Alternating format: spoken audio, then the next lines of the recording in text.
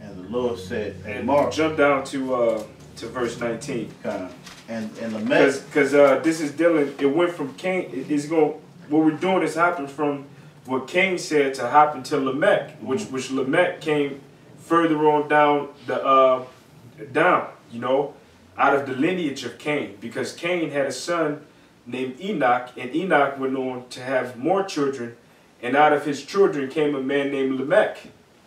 Go ahead. kind and, Out of his children's seed. kind and, El- and Lamech took uh, unto him two wives. The name of the one was Ada, and the name of the other was Zillah. And Ada bare Je- Jabal. He was the father of such which dwell in tents, and of such as have cattle. And his brother, the name was Jubal. He was the father of all such as handled the harp and organ. All right, you can jump down to 23. Come. And Zillah, I mean, and Lamech said unto his wife, Ada and Zillah, um, hear my voice, you wives of Lamech, hearken unto my uh, speech, for I have slain a man to my wounding, and a young man to my hurt. So that was talking about what he did when he was Cain. You know, go ahead. Because it said every, every third, fourth. Kind of get that out of that Exodus real quick. He said, and if Cain shall uh, be avenged sevenfold, truly uh, Lamech seven, 70 and sevenfold. Because he, he knew who he was in the in the reincarnation. Time. So, I got the you got that? Yeah, give me that. Exodus 20 and uh, 5. Uh, Thou shalt not bow down thy servant, I mean thyself to, to them, nor serve them, for the for for I, the Lord Yahweh, by Shem Yahushua, power and the jealous power, visiting the iniquity of the fathers upon the children, unto the third and fourth generation of them that hate me. Right, for the third and fourth generation of him that hate me. So every hundred, about every hundred years, your spirit come back into the earth, and that's how he, uh, with every every third to fourth generation. So your son's son, your your son's son, uh, son, so between your sons, your grandson, you be either your grandson or your great grandson.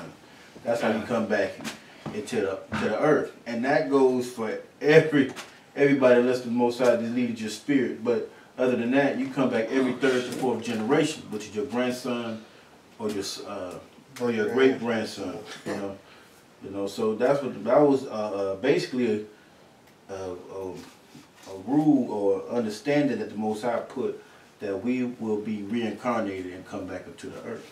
I got something real quick. hmm This is uh, Second Ezra four and forty. So he answered me and said, Go thy way to a woman with child, and ask and ask of her when she have fulfilled her nine months, if her womb may keep the, the birth any any longer with her. Then said I, No, Lord, that sh- that she cannot. I mean that can she not.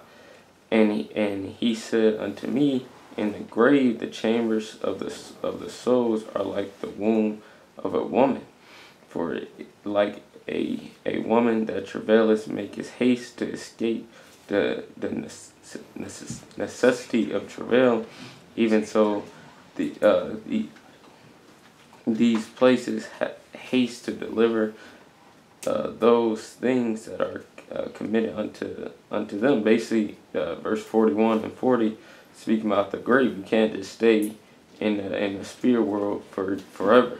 You, the Lord sends your spirit back in in, uh, in uh, time, like you said in uh, what was it, uh, Exodus twenty and uh, five.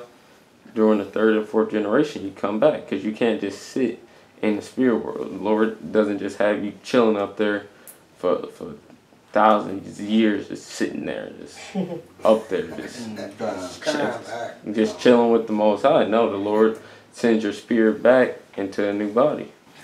Hey, so when we did, the brothers did a fervent uh, search on um, reincarnation through the scriptures, and if you know, through the spirit, we hope the brothers understood, you know, that the Most High, eh, eh, he- that's his requirement that he has, that man come back to the earth every third to fourth generation from the lineage that they they are in. There's so many generations on this earth there's billions of people on this earth at this moment. So if you think about it, and we had children earlier, so it's just that's how all it's now we being uh, overstuffed with um, all the spirit. Most of the spirits are on the earth. So I shall see. Every eye shall see, come. So it's gonna be it, it, it's through the spirit of the Most High because back then it, it, it wasn't that many, but now it's just so many that you know judgment's gonna come. You know, and that's the that's that's that's the Most High. It, you know we don't think like Him, and that was a beautiful way to put man to come back on earth continuously. You say you go back up to the spirit will come back and serve your judgment. And come back, and everybody served their judgment because what? Uh-huh. All have sinned. Shit, that's They the come reason short. why Israel caused so much hell. Right. You know, we were serving judgment for the sins that we committed in our when we were our fathers. You uh-huh. know, when we were our forefathers. Uh-huh. That's all. Yeah, I got one real quick. Come. Uh, because this Because was how is how is that fair? First of all, before you get that, Salak, I'm trying to cut you off. But when you when you uh, deal with the book of Ezekiel, it tells you that the father shall no more more perish for the sins of the children, and the children shall no more perish for the for the sins of the fathers. You know, the, the Lord said, "What is this? What is this proverb that you have have in Israel that the fathers have eaten sour grapes and the children's teeth are set on edge?" Well, why do our children need to be uh, uh, uh, judged for the iniquities that we did? Well, they didn't. They didn't commit and do anything wrong. It was. That goes to show you that we're all being judged for the sins that we committed in this lifetime and the previous lifetime That's before. right. That's right. That's right.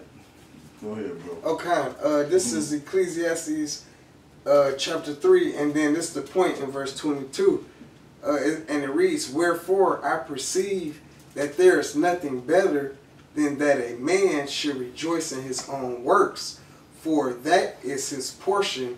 For who shall bring him to see what shall be after him?" You know. Yeah. Uh, the who should see what was after them. But right. I mean, it's plain. You know. Kind. You know. Plain and simple. It's there? Yep, right there. Uh, Right.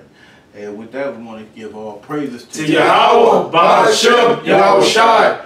The bonds to the apostle and the elder great millstone, peace and salutation to the brothers on the four corners of the earth doing his work in sincerity and in truth. And shalom. Shalom. Shalom. Shalom.